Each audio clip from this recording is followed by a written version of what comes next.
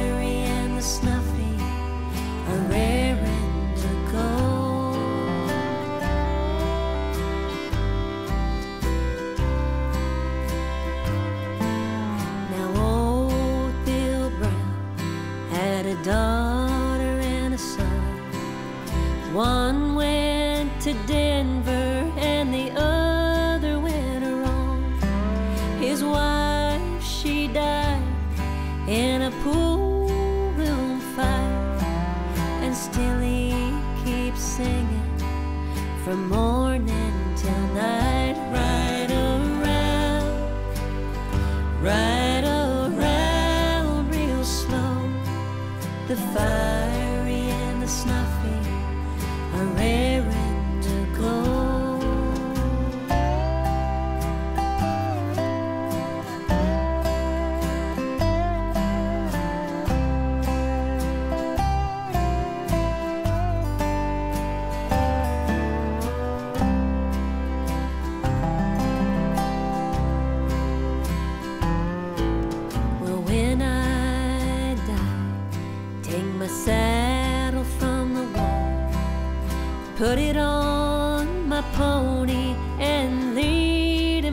from stall. Tie my bones to his back, turn our faces to the west, and we'll ride the prairie that we like the best. Right around right around real slow. The fiery and the snuffy are raring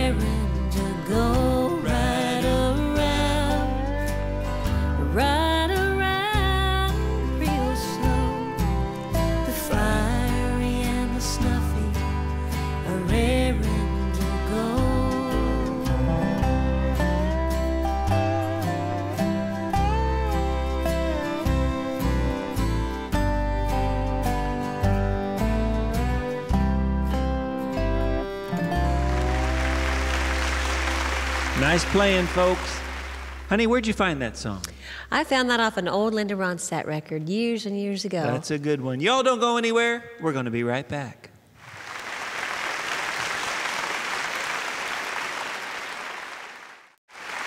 You can pay Mama at the counter. Her name's Louise. She's still trying to memorize the new register keys. We'd sure like to thank y'all for stopping in. If you're ever this away, come and see us again. Y'all come on in. Sit wherever you want.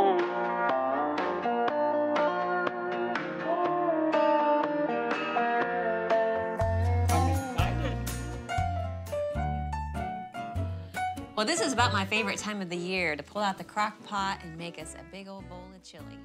Yes, Everybody has their own recipes yes, for chili. Yes, and I love this time of year too because I love going to work and coming home and having everything already done in the crock pot and you smell it and it's like. Dinner's done. Yes. Well, we're going to tell you how we make our prized chili here at Marcy Jo's. This is a recipe that came from a lot of different sources. Marcy had her spin on it, our cook had her spin on it, and then at the last minute this morning, I put my spin in on it. So we'll go ahead and get started and let you know how we get this going. So what we've done is we've taken a pound of ground beef and we've taken a pound of ground sausage.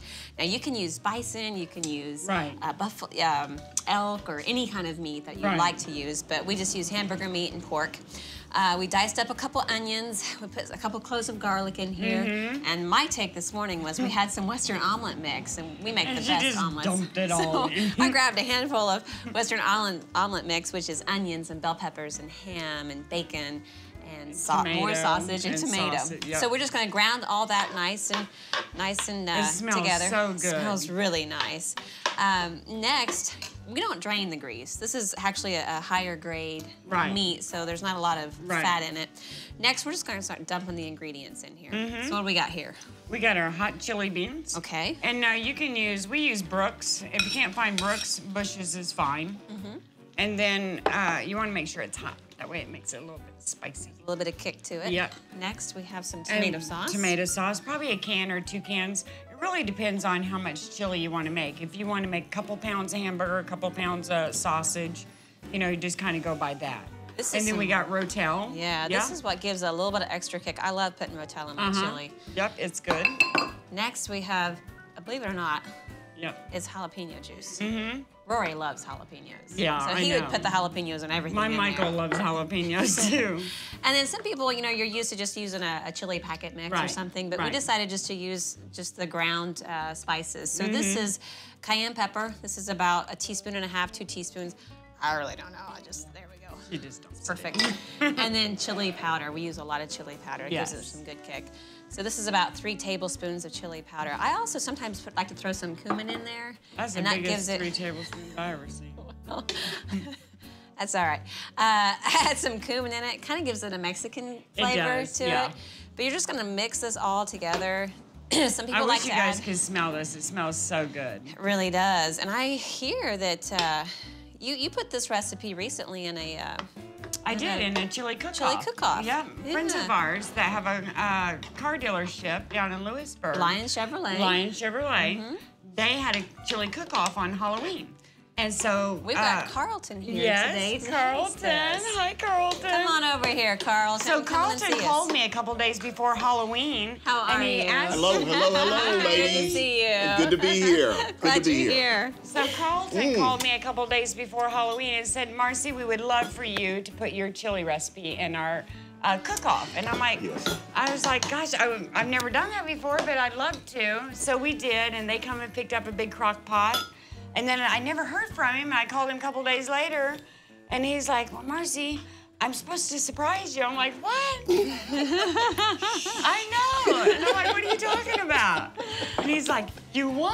I'm like, what? Aw, that's So we were so awesome. excited. Well, I don't know if Carlton got to taste it the day of the Did cook-off. Did you get to taste it? No, No, Oh, but this now is you get to. beautiful. It might be a little hot. it so. went fast. Yeah. I bet it did. And plus, he said it was like 14, 15 restaurants that entered their chili. So that was mm. so exciting. That's wonderful. Mm. It smells good. How Wow. is it? Isn't that good? Do you like that? Wow, yes. Good. Delicious. Good. Wonderful. wonderful. Wonderful. Why I'm here. Okay. Oh my gosh. Oh my Oh my goodness. On behalf That's of Lion beautiful. Chevrolet, this is our seventh annual chili cook-off, and I would like to award Marcy Jo's as winners of our uh, 2013 chili cook-off. Oh my Wow. gosh, that's 14 beautiful. restaurants participated in this particular uh, Wow. event. My Congratulations. Thank Well, you thank you, so Carlton. much. That's Thank you, Lion beautiful. Chevrolet. Wow. Isn't Isn't that that great? I Our first it. trophy ever. I, know. I think we need to call this trophy chili. Yes, we do. And we need to make a lot more chili here, apparently. well, thank you, Carlton. You Okay. take your chili with you. Alrighty. You enjoy Thanks, that. Carlton. Thanks so much. So good to see you. Alrighty. Well, folks, you're not taking this yet, Carlton. We're gonna keep this here. there you have it. That's our trophy chili here at Marcy Jo's, where we're changing lives. One bite at a time.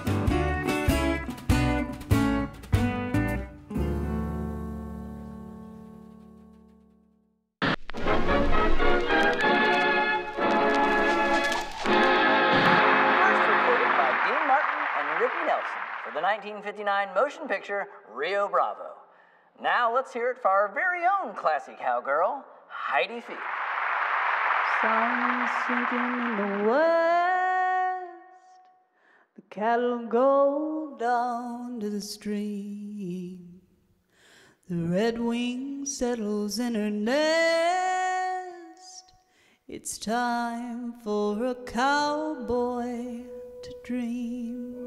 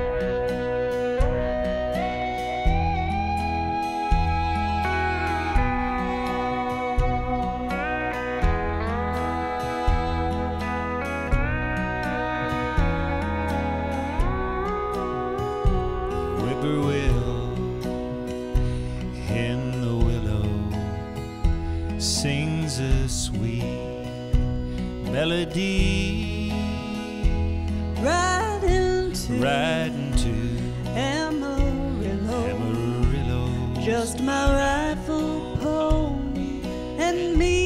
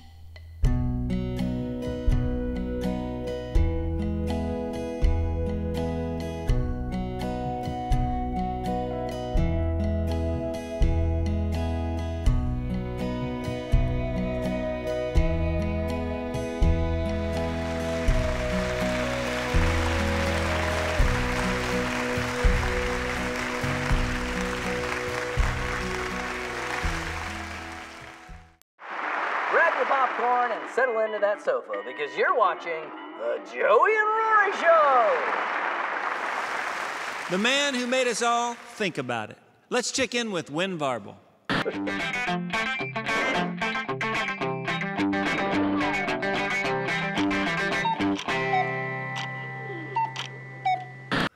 My buddy Eddie and his wife June was over grocery shopping one day and they went down the aisle there and Eddie picked up a case of beer and put it in the cart and she said, What do you think you're doing?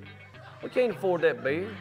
He said, No, no, no. He said, It's on sale. It's, it's 24 cans for $15. She said, Put it back. Well, they went on down the aisle and she found some face cream for $30. He said, No, no, no. We can't afford that. I said, No. $30 for face cream? She said, Eddie, it makes me look beautiful. He said, So does 24 cans of beer, and it's half the price. That's the last thing he remembered till the supermarket PA come on saying, Clean up on aisle nine. Got a husband down.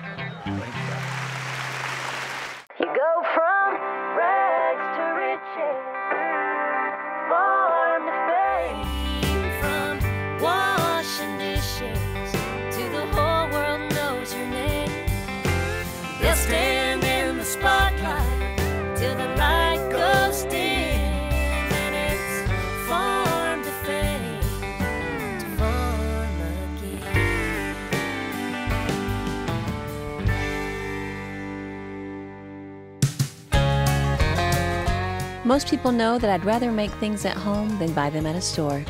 And since Rory loves jam and butter on my homemade bread, this fall I decided to make my own pear butter.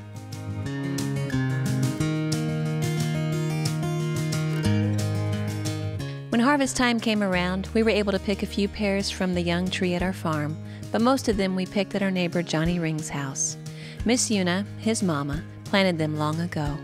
And though she's passed on, her pear trees remain.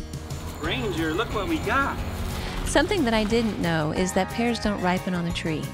Once they're picked, you have to cover them in boxes or brown paper bags and let them ripen for two weeks.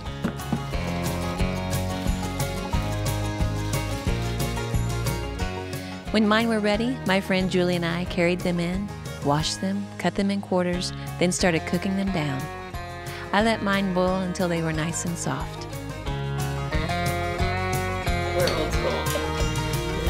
Grind away. The next step is to put them through a food mill or sieve to remove all the peelings and seeds. In the process of this, you're left with the pulp, which is the good stuff. Then we run the pulp through a cheesecloth to separate the juice from the pulp. I love pear juice, so that's just an added bonus to this process. You're getting my ankles, aren't you? I can't help it. My ankles are pregnant. Then we add a little sugar to the remaining pulp, heat it again, then start pouring it in the jars.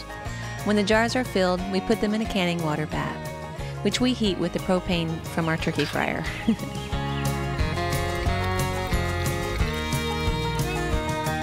I let them boil in the water for 15 minutes, then remove them from the heat and let them set until the jars cool and the lids pop. That's how you know they have a good seal. Since we don't have a root cellar, I store mine on top of our pie safe, so they're ready for Rory to open up with my next batch of homemade bread.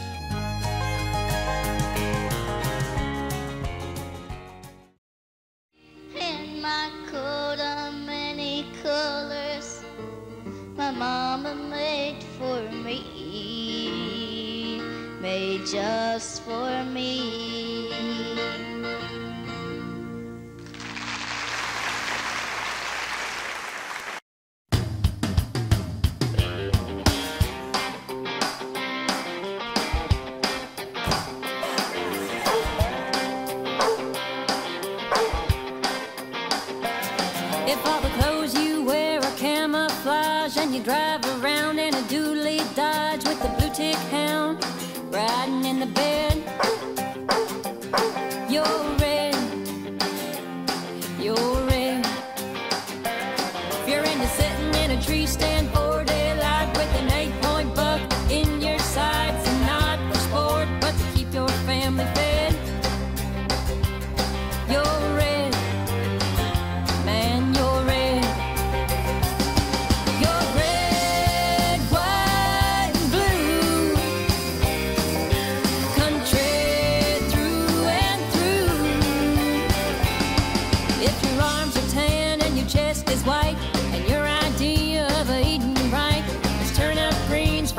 fried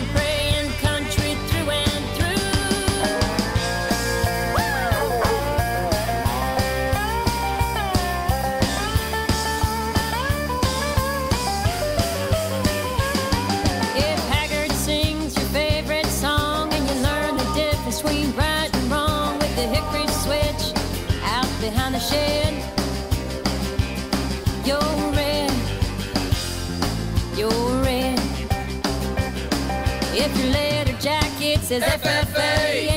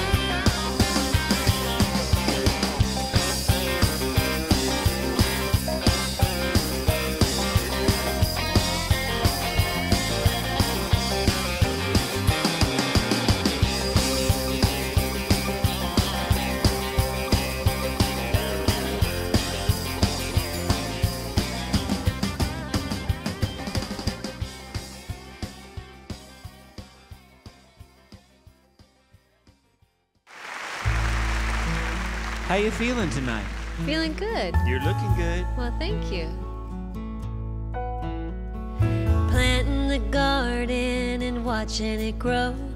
And keeping it country on the radio. That's important to me. Yes, it is.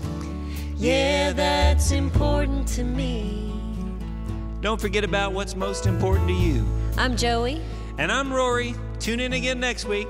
Same place, same time.